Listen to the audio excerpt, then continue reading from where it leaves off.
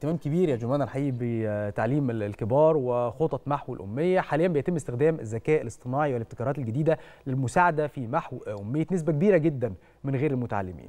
ده غير كمان إنه في خطة حاليا بتشتغل عليها هيئة تعليم الكبار للوصول إلى صفر أمية بحلول 2030 خلينا نعرف تفاصيل أكتر عن هذه الخطة. معانا على التليفون دكتور محمد ناصف رئيس الهيئة العامة لتعليم الكبار. صباح الخير على حضرتك يا فندم وبعد التحية حابين نعرف من حضرتك أهمية استخدام الذكاء الاصطناعي في تدعيم منظومة المتعلمين وإزاي يساعدهم في استخدام برامج برامج كمبيوتر تحاكي المعلم. صباح النور يا جمانة وصباح النور يا أستاذ محمد وصباح الخير على السادة المشاهدين جميعا. الحقيقة دمج التكنولوجيا في ملف التعليم سواء كنا نتحدث عن التعليم النظامي أو التعليم غير النظامي اللي هو تعليم الكبار أصبح ضرورة ولا مفر منه. والحقيقة التكنولوجيا حينما تدخل إلى التعليم بتكسبه المتعة وتكسبه الموضوعية صحيح. التي تعني النزاهة والتبرؤ من الهوى والبعد عن العاطفة. الحقيقة الذكاء الصناعي هو أحد مخرجات التكنولوجيا الحديثة الذي سوف يحدث ثورة في التعليم كما أحدث ثورة في الصحة وفي التجارة وفي مجالات الحياة ومناشط الحياة المختلفة. الحقيقة محتاجين إن العلم يسبق الواقع بخطوات وخطوات. دمج الذكاء الاصطناعي في تعليم الكبار الحقيقة من باب التوعية ومن باب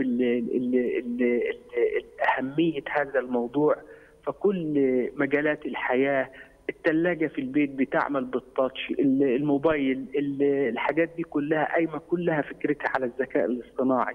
توعية الدارسين الكبار بمفهوم قد يبدو صعب اللي هو الذكاء الاصطناعي ولكنه ليس مستحيلا.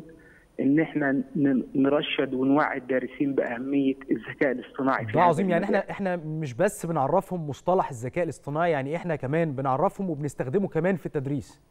ده صحيح ده صحيح. ده صحيح. وبعدين التكنولوجيا دلوقتي أصبحت تحاكي المعلم والحقيقة الدولة بذلت جهود جبارة ومضنيه وتبذل وستبذل إن شاء الله. عندنا المدارس الافتراضية على موقع وزارة التربية والتعليم بتقدم وجبة علمية دسمة لكل طلابنا في كل المراحل التعليمية. شرح مبسط وشرح جميل من خيرة شباب مصر من المعلمين. التكنولوجيا حينما دخلت إلى التعليم وفرت الكثير من الوقت وفرت الكثير من المال وفرت الكثير من الجهد أكسبت عملية التعلم المتعة وجعلتها شيقة. ولا يمكن استبعادها شئنا أم أبينا أصبحت شريك حياة في كل مناشط حياتنا اليومية التكنولوجيا. الحقيقة دمج التكنولوجيا ده أصبح ضرورة من ضروريات الحياة وظن طلاب أو رواد الثورة الصناعية الرابعه أن التكنولوجيا ستكون بديلا عن الإنسان أو الآلة بديلا عن الإنسان.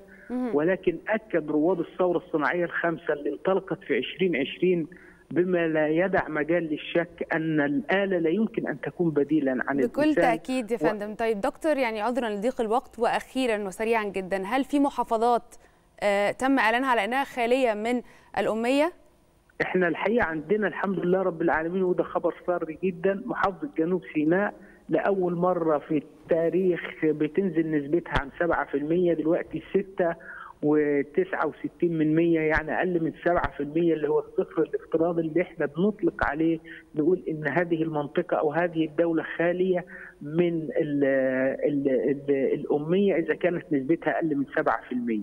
فمحافظه جنوب سيناء الحقيقة نزلت من سبعة في هذه الدورة ولسه إن شاء الله هنعلن دورة يناير وفي مفاجآت قادمة إن شاء الله عندنا المحافظات الحدودية على وشك في عام أو عامين إن شاء الله نستطيع أن نعلنها نعلنها خالية من الأمية بإذن الله.